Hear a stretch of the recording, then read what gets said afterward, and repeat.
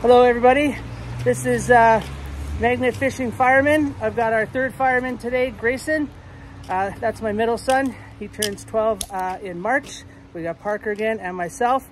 We're back at our uh, favorite spot in uh, Wortley here in London. We are gonna uh, watch me fall down the hill. It's all on video. We're gonna go over to the train bridge again, but instead of the far side, we're gonna do we're gonna do uh, this side. We've already scouted out the area and uh, we found, Parker found a nice tire iron. We found uh, a shopping cart, which we're gonna use as transportation. And what else did we find? Oh, a bucket. We found a bucket that we're gonna use also for transportation because it's on the other side of the parking lot. Can I say something? Yep. If any of you are my subscribers, thank you for 207 subscribers. And your site is what again? Talking Juan. Talking Juan. And Slash this Wani. slash Wani. He goes by Wani on his site. All right, this is our little introduction and uh, we'll see you over at the site once we get our uh, stuff Bye. out of the truck. Hi again, guys. So we're at the spot. Uh, that's the bucket we found already. Some a metal siding of something. And there's our shopping cart that we pulled up, just clearing the way down. It's actually a quite a neat looking shopping cart. But here's the here's the we're gonna go down here along the the wall down to the bottom there, and there's some spots down there we can throw the magnet from. All right, wish us luck. We'll see you down there. Hey everybody, we're uh, settled in here. This is how new I am to this YouTube channel stuff. I totally forgot to start video. So we got Parker set up over there.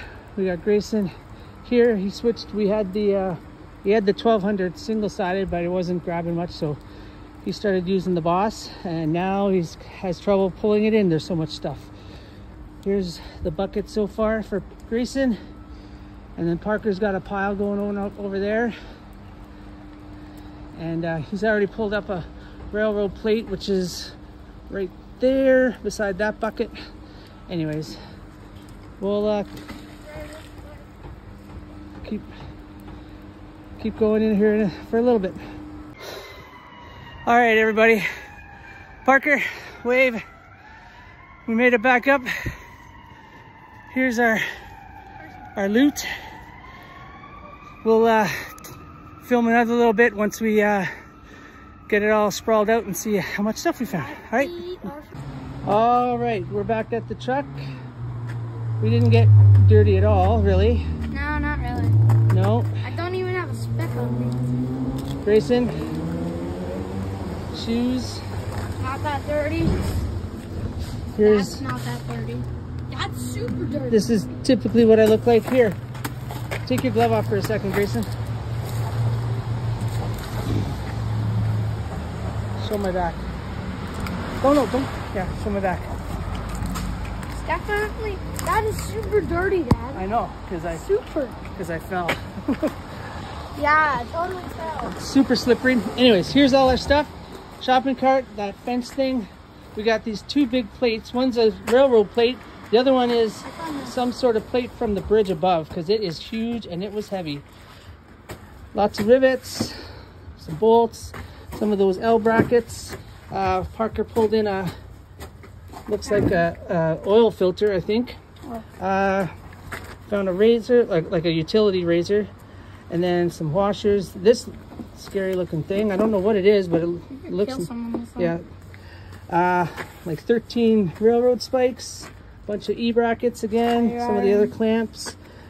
These two uh, bolts with ones with the big uh, washer, two lighters. Grayson found two lighters, and then Parker Parker's uh, tire iron, which this we're gonna keep and we're gonna clean that up and uh, add it to the collection because I've already got I've got three so far. One exactly like this.